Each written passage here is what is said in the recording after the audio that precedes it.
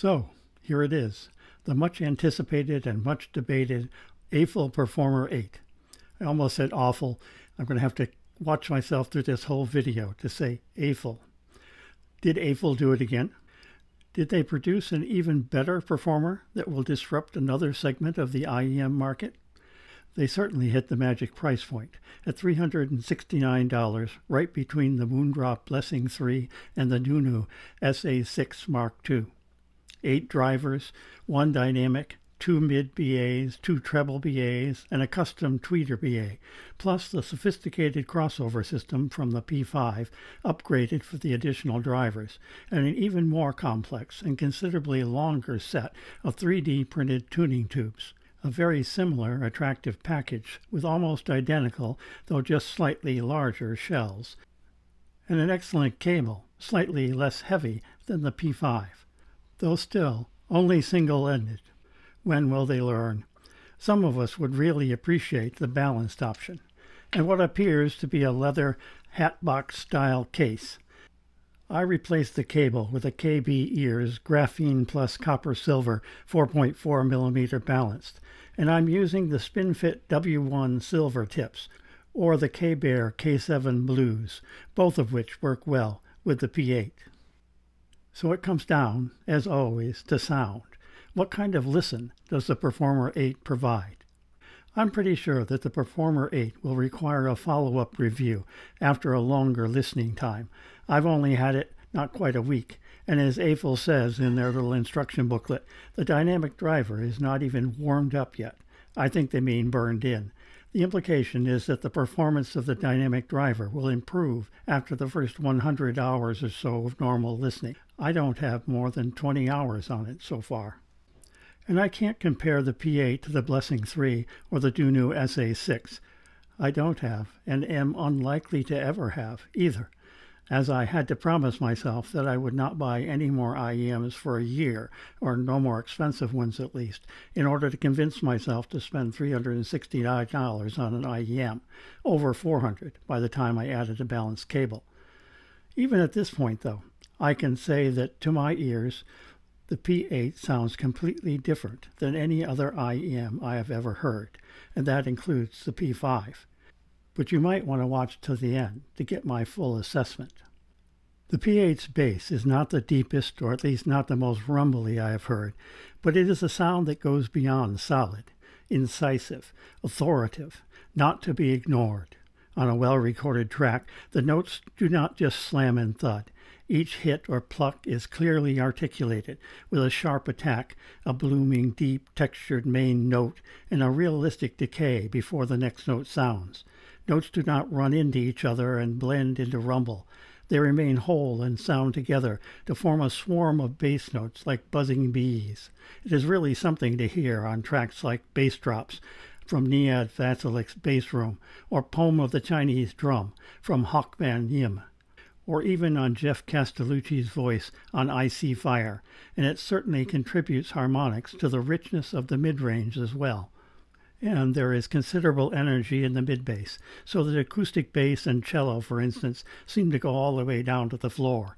You might not suspect this if you just look at the graphs, more on that later, but I assure you, whatever they did with the dynamic driver and the long, thin bass tubes in the shell worked. The bass is simply stunning then I would be tempted to say that the mids, vocals, and instruments are forward, except they're not.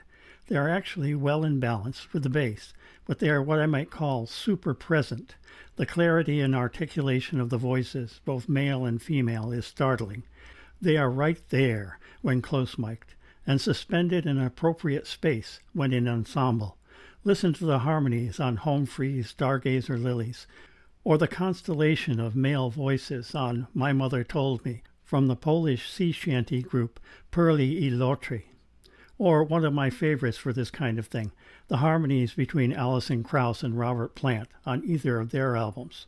Listen to the smoky, intimate voice of Diana Krall on Cry Me a River, or the silk over rough fingers texture of Carol Duboc's voice on Smile from the album of the same name.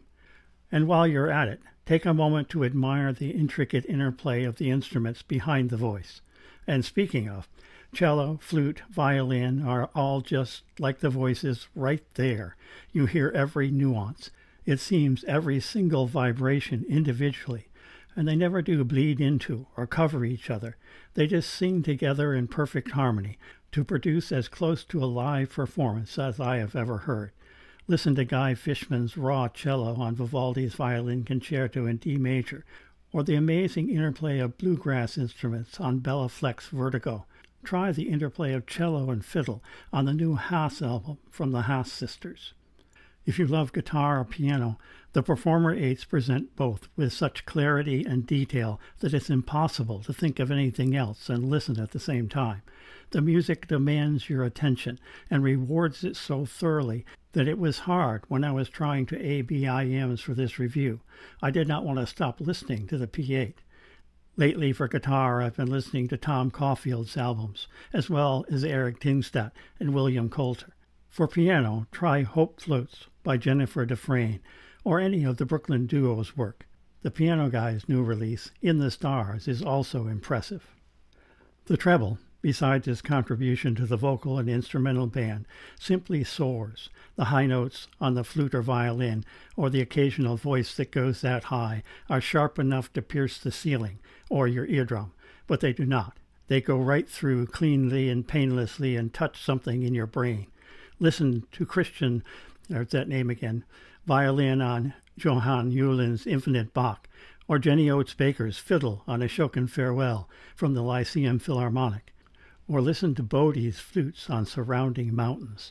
The high notes and the high harmonics make the P8 perhaps less suited for casual listening, since, as I have said, they demand your attention. I find, for instance, that I cannot read and listen to the P8s at the same time. Those high notes require that I put the book down and listen to the whole of the music to keep them in balance. But then, what a treat when I do. So, is the Performer 8 a bright IEM? Yes, it is. Quite bright indeed. Is the Performer 8 a mid-centric vocal and instrumental IEM? Yes, it is, with more detail than I have yet heard. Will the Performer 8 satisfy all but the hardest core of bass heads? Yes, I think it will. Quality over quantity. The Performer 8 is simply so well balanced that you don't hear any emphasis on any band, but you also never hear any lack. The whole spectrum is just wow. But the sound of the Performer 8 goes well beyond the sound signature or balance of individual frequencies. The way it represents harmonics is nothing short of spectacular and contributes to a sound that is vivid, so alive, so rich and commanding that it continually surprises you, continually highlights something you might not have heard yet in the music to delight you. The Performer 8 creates a musical space that is, in my experience, unique when I listen, I'm no longer wherever I happen to be. I am there, in the music, in the space where it was created, even if that space was only ever in the mind of the musician or the mixing engineer. This goes beyond soundstage, which is spacious, or instrument placement, which is accurate, to a harmonic whole, a sound space or soundscape that is simply impressive, impressing, immersive. Again, demanding your attention, rewarding every moment. Listen to something like Perpetual Emotion's Flying Tent, or the interplay of cellos on two cellos, Celloverse, or an orchestral work like Strauss's Die Fledermaus from the Vienna Philharmonic's 2022 New Year's concert album. This is not a close mic ensemble, it's classical orchestra, so turn up the volume so the opening bars are concert loud, and then surrender to the sound of the auditorium or in a similar way, surrender to the ambient soundscape with its nature sounds of gathering dawn from Bodie, or the even more natural sounds of Rejuvenated from David Arkenstone. Perhaps it is something like focus in photography. I'm a photographer, and I appreciate a perfectly focused image that shows, say, the breast feathers of a bird, every shaft and barb right down to the finest tips. But many of my photos are just slightly out of focus. Not enough so most people would notice. You can still see the feathers in more detail than we're used to.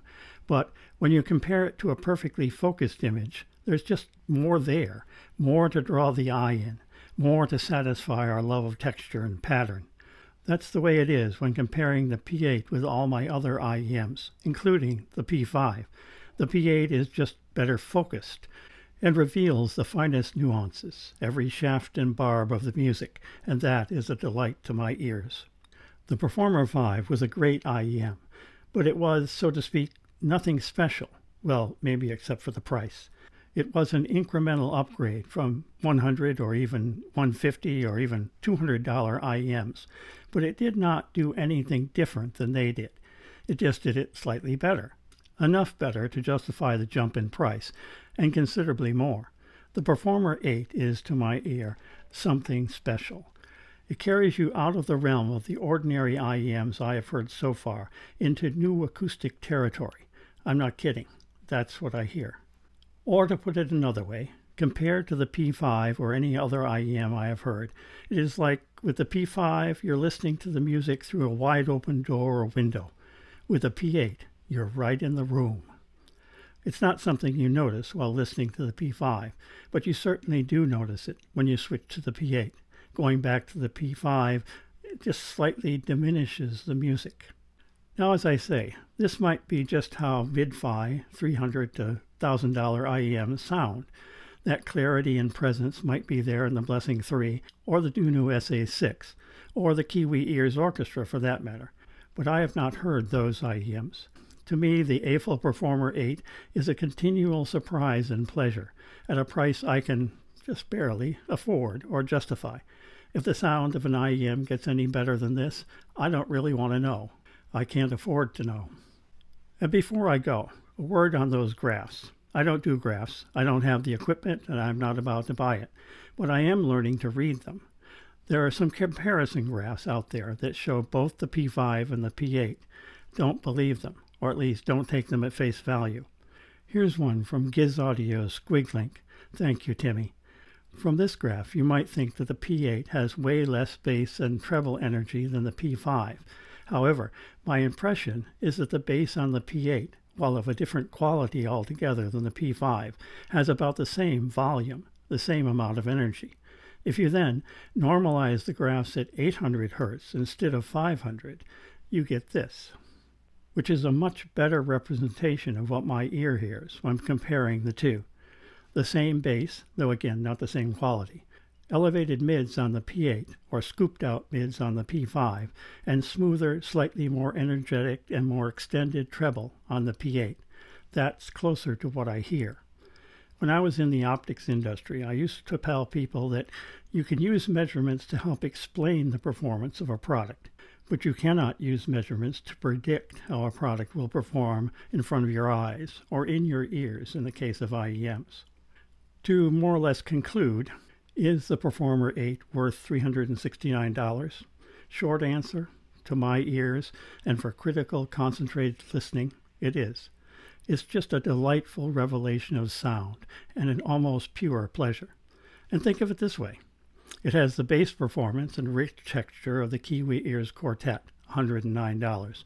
Yes, there's some debate on that IEM, but that's the way my ears hear it the flowing, present, realistic mids, vocals, and instruments of the Shure Galileo, $109. The precision and clarity of the Let's S12 Pro, but with more musicality, $135 on sale. A better sense of space and stage than my CVJ Me, $59, and build quality and accessories and technical innovation to equal my Aful Performer 5, $189 now on sale. So I could have, or maybe even should have, just spent the $369 on the Aful Performer 8 and have been done with it.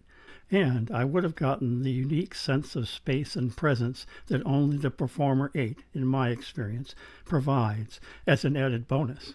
And I would have saved money in the bargain. Though, let me say once more, and then I'll be done. The Performer 8 is not an easy listening IEM.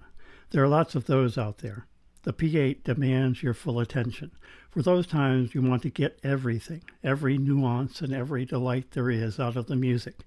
I don't think this will ever be my or your favorite casual listening IEM, and the P8 is totally unforgiving of poor recordings and poor mixes. It will highlight everything wrong about a recording, just as it highlights everything right. If a recording has muddy bass, you're going to hear really muddy bass. If a recording has weird peaks in the treble and raspy vocals, you are going to hear every peak and every rasp. However, with good recordings, and those times you are willing to give yourself up to the music, the Performer 8 will reward every moment.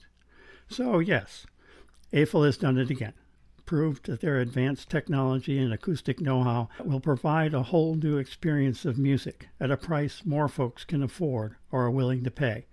Perhaps another disruptor. This is, I'm thinking, a very good thing. So, what will Aful do next? Maybe my wallet will recover in time to find out, and maybe not.